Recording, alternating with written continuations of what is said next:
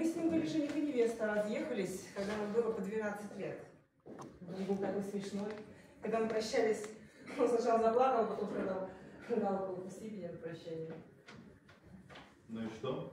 Пустила ты его? Да, за палец. Забавно.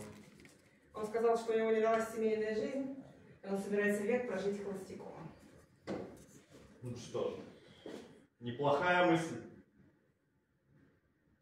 全然。あ、ストップ。